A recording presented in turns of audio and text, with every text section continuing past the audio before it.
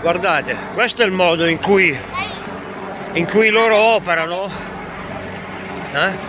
perché non lo sapete che questi gas sono oltretutto sono illegali sono illegalissimi, nocivissimi, fanno male alla Madonna, ma loro imperterriti li usano perché se ne sbattono i coglioni.